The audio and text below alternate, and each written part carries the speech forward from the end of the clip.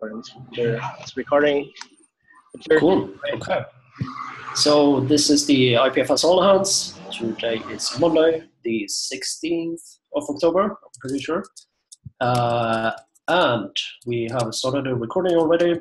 And now, if people have some more agenda items they would like to add, right now there is just one item, and we have 60 minutes.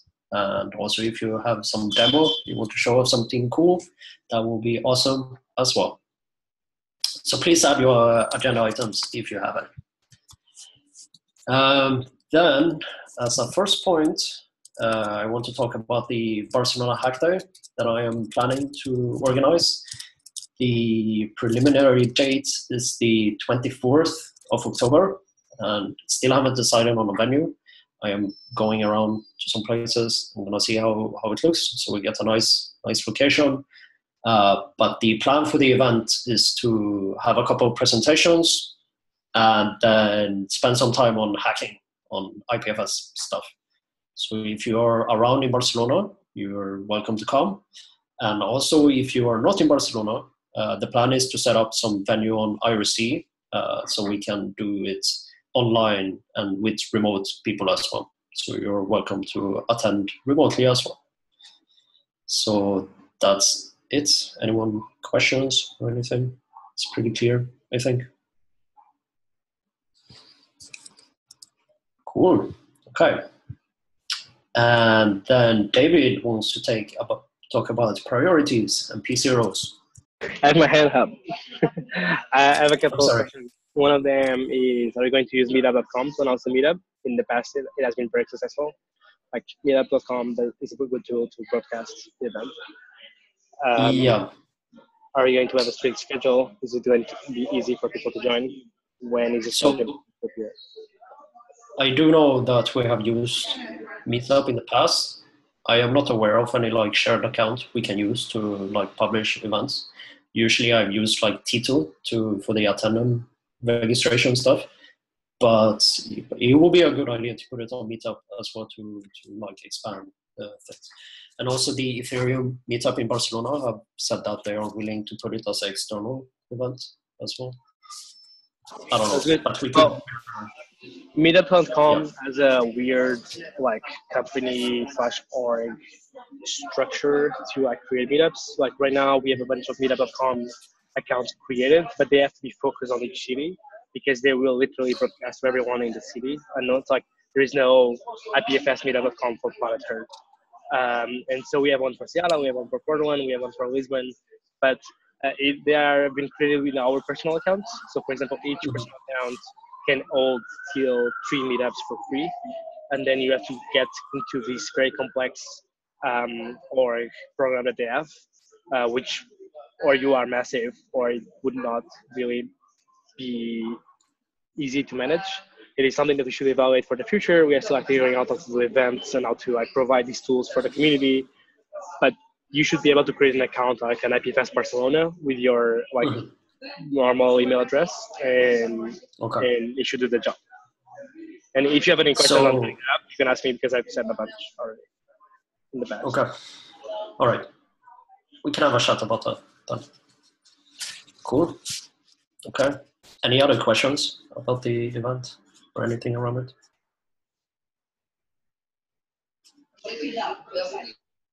Okay. Then we'll let David speak about the priorities and P0s. All right. So what I want to share and ask for feedback is so like this quarter is already like one third over. Uh, we have a lot of work to do. Uh, we have a lot of plans, and historically we have like created markdown documents with kind of like milestones and roadmaps, and like then we created repos with issues, and like we then use waffle boards and and and more issues, and we we experimented a lot, and right now it's not like clear which tool strategy plan we are going to use it is something that um, we still have to figure out a little bit better. However, we do know that we want to prioritize the things that are most important. So if you have seen repos like JSIPFS and IPFS, you will see that there's labels now P0, P1, P2, P3. That's order of importance. P0 is more important. P4 is less important. And Victor last week created a tool that populated all of the IPFS with peer-to-peer multi-formats and IPLD repos with all these labels. So now they are available for everyone to use. And the way that we plan at least to do some of the work of communicating the roadmap is by labeling the issues, which are very critical for the project. And that kind of like signal what we are prioritizing so that everyone can um, help achieve those. Um, I want to share with everyone what I'm going to do to tag all of the labels, especially on JS IPFS and, and this might be used for the Go IPFS project as well, uh, or it might be used for like infrastructure, it might be used for cluster. And I just want to share how am I going to be able to handle tagging over 300 repos, maybe over 3,000 issues. So um, let me share my screen audio. By the way, is my connection going clear for everyone? I want to make sure everyone can see my screen. All right. Can you see like an empty web page? His waffleboard is not loading. Come on, waffleboard. Sure. Okay, it's still loading. We have a lot of repos attached to a single waffleboard, kind of like oops, it spends once in a while. Yeah, so um, the way that I'm going to do this on like labeling all the things is, so as I said, Victor added the label to every single repo. And so I went to project settings and I went to columns and I created a new column. And I, I already created P0, but I'm going to create P1. And then I selected the label respectively. And here I'm going to select P1. And now I can go save board view. Uh, so now the traditional thing Kanban style just like move issues to the column. So I can like say, oh, add progress bar test is P0, right? The tricky part is if I put it here, now waffle things, oh, this label is a, like this, this issue is a P0, so I'm going to label it with P0. That's really useful. But if someone starts working on this, the waffle board is going to like move this from uh, P0 to in progress, and then it loses the label. So that's the problem. What we need to do, and this is kind of like uh, boring and annoying, is we actually need to do it all at once, like move all of the issues to the respective columns, and then once we are satisfied with this thing, we go to project settings, uh, columns again, and we delete the column.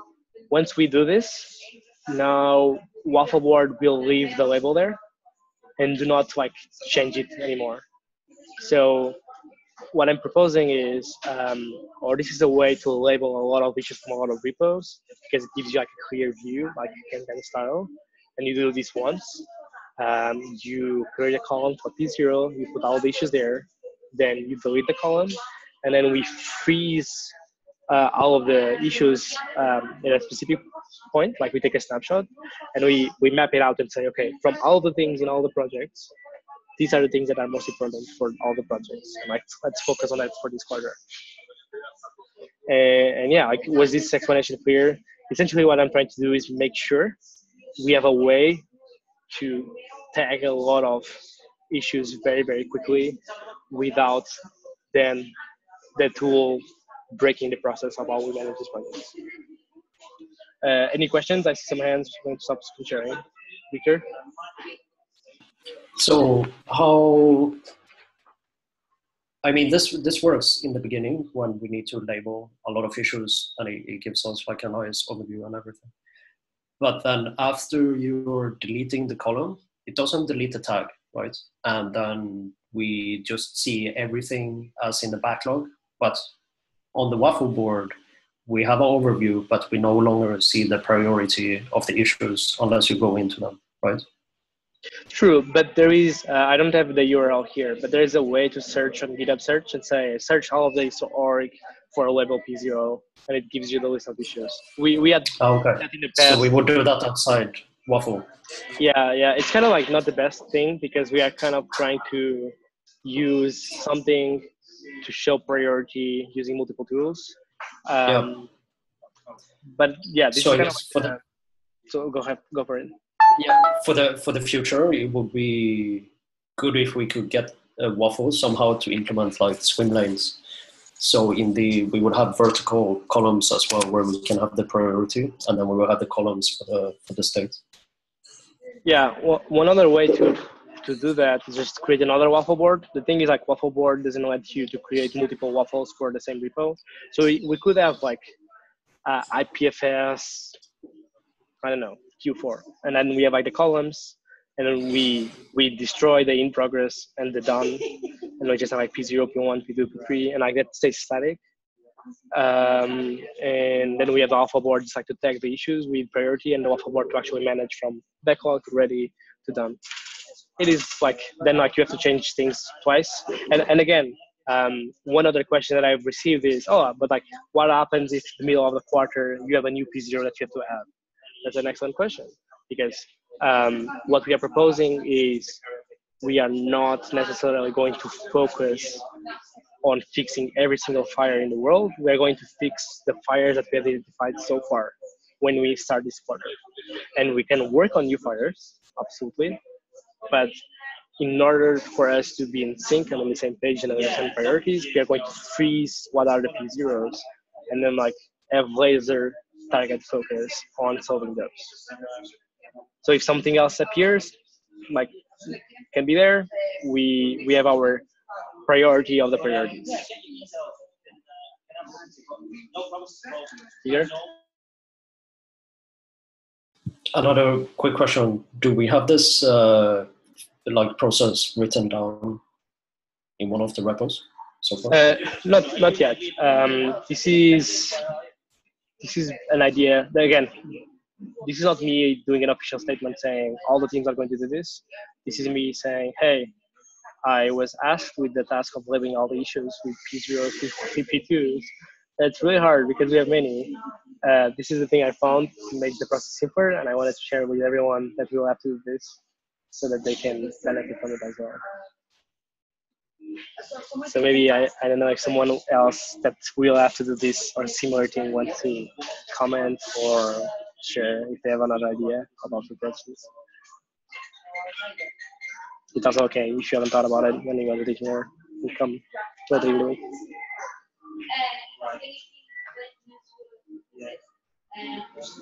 Yeah. If there's no more questions, we, we can move to the next uh, item.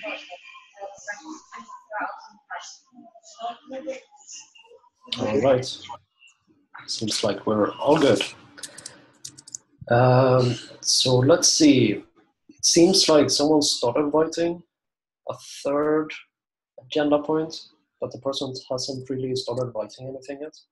So we can move to demos in the meantime if someone has something cool to demo. Something you've been working on in the past week. Something you want to talk about. Just a showcase. I don't know a nice image made in paint.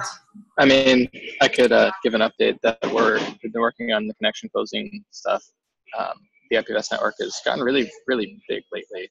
Um, still not sure why. It's over 7,000 peers at this point. and so yeah, we we have a connection closing branch working. Um, hopefully, gonna merge it today, and people who want can start trying it out. Then we're gonna be merging in supplemental features to it, like um, a DHT some code for the DHT to prioritize its connections, some code for Bitswap to prioritize its connections, and so on for the different sub protocols. Um, but yeah, hopefully, hopefully we get that in today or tomorrow, and then we can start trying to figure out how to make like 8,000 nodes update, and that'll be fun.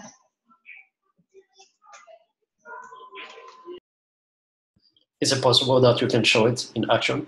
Would that be complicated to do right now?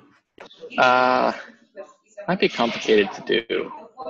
Is that I mean, all I would be is me showing you an IPFS node starting up, and then showing you the number of peers I have, and then try to cause more peers to show up, which might degrade the quality of the video call. Maybe. All right. Do you have any other questions regarding connection closing? I have a question. Are we planning to deploy this as a hotfix for people to start using? Because it's kind of impacting the entire network, right? Yeah, I mean, the next release, hopefully we can get out another release this week. And if we do, then that would be a two week release, which is not uncommon. Sounds good.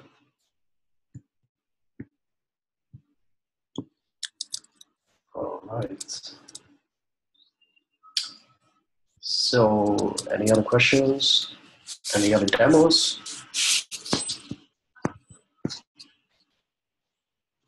Great. TK, do you want to demo PeerPad? Ah, yes. Uh, I don't have it set up here, or it looks like. Okay, let me take a photo. Is it, isn't it deployed somewhere? What? Isn't it, isn't it deployed somewhere? Not yet deployed. Like a new shiny design is coming this week and next week. Right now, it's going to be two text boxes. uh, but yeah, wait, wait, give me a sec.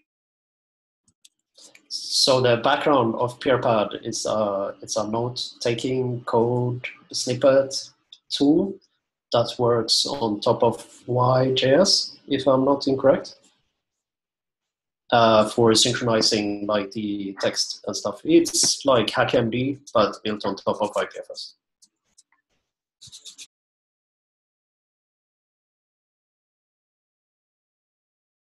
And hopefully we can start dog fooding it as soon as possible.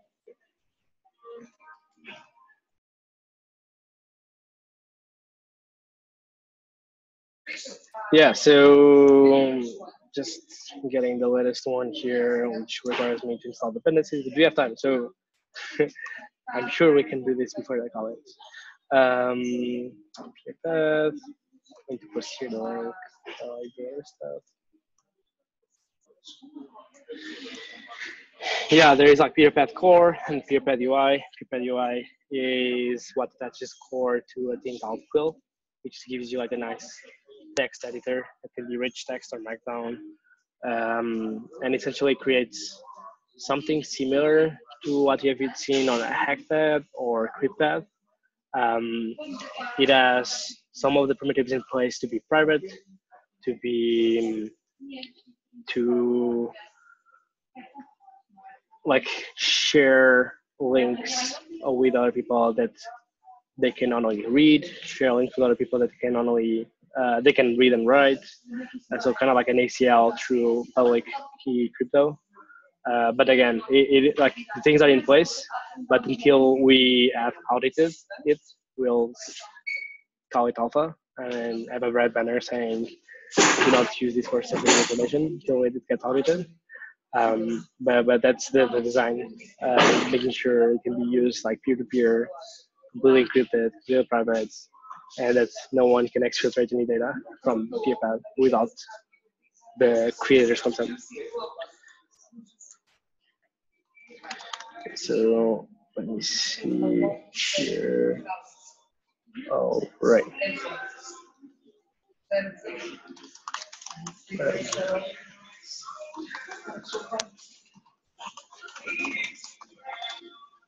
How are people feeling? Okay.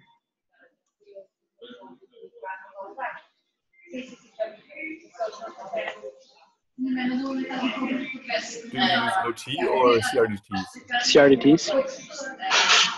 Uh, there's um, Nice. a, a Y, like there is like what so there's a bunch of CRDTs implementations. Two of the most interesting ones uh, or more developed is YJS and FormJS. And YJS has a really nice plugin feature. So we uh, got um, an IPFS connector for it that like uses IPFS to transfer the data and store the data. And that's how it's working right now. Creating an optimized production build so that I can deploy it on, on IPFS.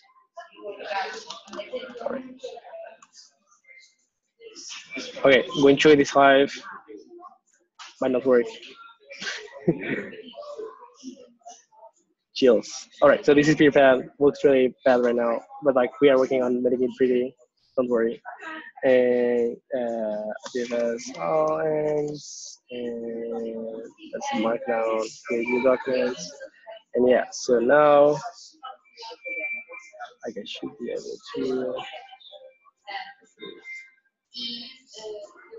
Should be a box here.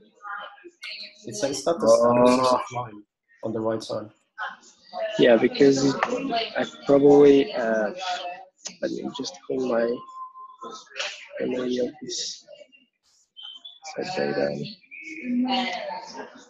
Is it because it's not an IPFS? No, sorry, sorry. There you go. No, it's, it's because I, I have um, previously used this localhost 3000 for another JS IPFS news with the old repo. And so it was breaking on an old multiaddr that's longer supported, which was before this peer-peer WebRTC start stuff. Um, and I just have to force it to restart the repo. So now, yeah, like you have like a, um, a path here, you can like spell it back down, stuff like that. I can, you, you see here, like you have the name of the path. These are like keys of stuff. Like one of them is the key to write, one of them is the key to, to read. So messages, key to write means the message gets signed with that key. So other people, other peers validate the signature and therefore accept the message and put it on the CRDT. Uh, the key to read is just like a symmetric key that decrypts the messages so that you can actually consume them. You can have the key to read, which is again just decrypting them, and you might not have the key to write, and, and that's what you get like with a read-only version. With a read-only version, same thing. I can be. oh, wait, this is not perfect. Uh, like the, you can only see one Chrome, right? You cannot see the two Chromes right now because I've just shared. Correct. Yeah. I definitely didn't prepare this demo. Okay, so let me share the screen.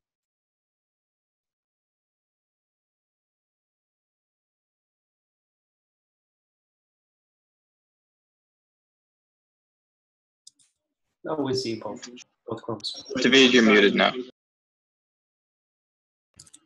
And your battery is running out.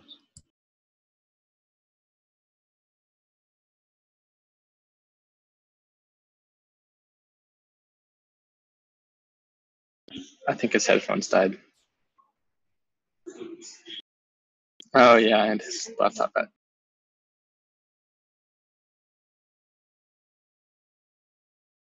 Okay, you, they can hear you if you talk right now. I think. Okay, can you hear me? Yeah. Yeah, they can hear you. So you have on the left. Talk a little louder. You have on the left screen. uh, here, and I, I cannot write on this one, uh, or I can write if I can here on the other side. Because this, this right side doesn't have the key to write. Again, um, it might even be writing messages. It doesn't matter because when when it reaches these sides, it checks the signature and the signature doesn't match, so it just stops it. Um, you can share with a writable address. Yeah, like Right. You got you have power now, but I don't think your headphones work still.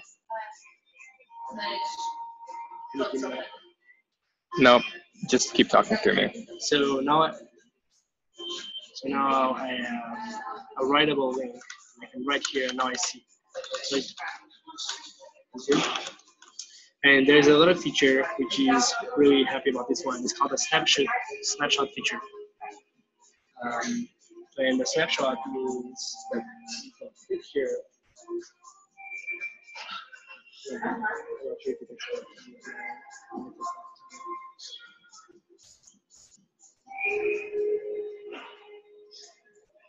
Is it working? My laptop might be dying. No, it's it's fine. You have power. Or is PeerPad dying? Uh, PeerPad's pretty angry. Hmm. Okay, so the snapshot feature, I can explain what it does. Uh, it was working on version 0.1. The version 0.2 was like merged during this weekend. Um, it creates a self-contained replica of whatever path this is. So imagine like you writing an article, again, private, peer-to-peer, not stored in anywhere, and then you want to share with other people. you can create a snapshot, which is going to be loaded through an IPFS hash. Like, doesn't require an app at all. It's like a thing that has the viewer and like the content. Um, and you can share an IPFS hash with other people, and suddenly you have like this publishing platform that is completely peer-to-peer, and you can publish articles through that. Does it make sense to everyone? So someone that wants to share some data but doesn't really want to host a server um, or have a domain for it, just write that data, create a snapshot, and you get like they can even have a blog, whatever they want to share. Questions? Any questions, anybody? I can relay them to the David. All right, we've got a question, David.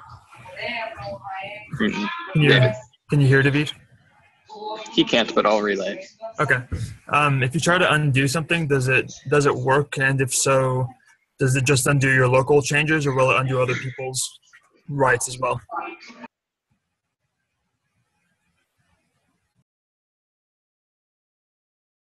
So right now, um, as I said, like we are using Quill.js, and Quill.js um, just receives the data from the CRDT. So we use the CRDT as like, almost as a key value store. Uh, and so Quill.js thinks that all the history that has been written so far is from a single user. So if you write something and I do Control C, I'm going to do undo your stuff. But that's like totally a bug. Like we like it's not a feature at all. Uh, it is just like something we need to change how Quill.js receives that data so that there is separation of user. Uh, and, and yeah, like Okay, cool. something I will be working on. And He says, okay, cool. okay. Any other questions for the almighty David Dias? the one that at home working. Victor, So how soon are we gonna be able to replace HackMD with PeerPad? question is, how soon are we going to be able to replace HackMD with PeerPad? So um, if you are going to be at MozFest, um, that is where we are like working really hard to have a working version where people should start like playing with, or at least feel happy playing with. Um, again, like I I think like the team will only be comfortable recommending using PeerPad once it gets audited. We want to make sure that like the claims that we are making are more just than using cryptography, but actually like audited by security specialists, so that people can trust software, not just trust the crypto. Right. Um, so maybe uh, this quarter for sure. Um, hard to predict. when you- Cool. All right. Further questions, or should Victor take it back over again? Stephen, you look deep in thought. I think you have a question.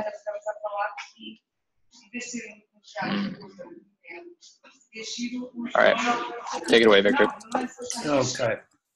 So let's make sure we didn't miss anything in the agenda. We have the hack day, the police heroes. All right, and then connection closing. We had a demo, and then PeerPad. Do we have anything else we would like to discuss before shutting down this call, or any other demos? Otherwise, I think it's time time to close this meeting. In that case, David could could stop the recording.